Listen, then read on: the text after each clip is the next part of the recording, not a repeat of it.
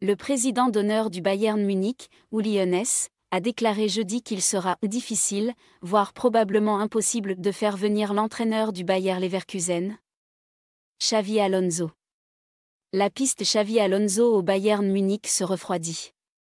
Le président d'honneur du club bavarois, Uli Hoeneß, a reconnu à la télévision allemande que l'entraîneur du Bayer Leverkusen ne sera probablement pas sur le banc bavarois l'an prochain.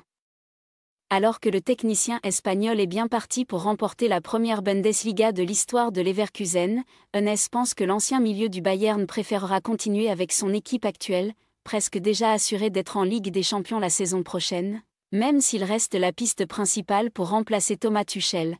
Nous allons voir s'il est possible de le faire venir cette année. Mais ce sera difficile, voire probablement impossible. Disons que s'il avait été à deux ou trois années de succès avec Leverkusen, il aurait été probablement plus facile de le faire venir. Le Bayer Leverkusen vit une saison historique. Leader de Bundesliga, le club est toujours invaincu toutes compétitions confondues et compte 10 points d'avance en championnat sur le Bayern Munich. Deuxième.